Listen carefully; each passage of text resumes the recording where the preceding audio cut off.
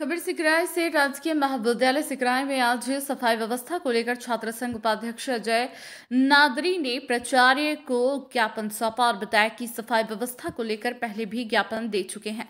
उसके बाद भी अभी तक कोई ठोस कदम नहीं उठाया गया है। आज उसी आधार पर प्राचार्य को ज्ञापन सौंपा तो प्राचार्य ने कमरे में जाकर सफ़ाई व्यवस्था को लेकर तुरंत प्रभाव से सफ़ाई कर्मचारी बुलाकर सफ़ाई कराने का आश्वासन दिया।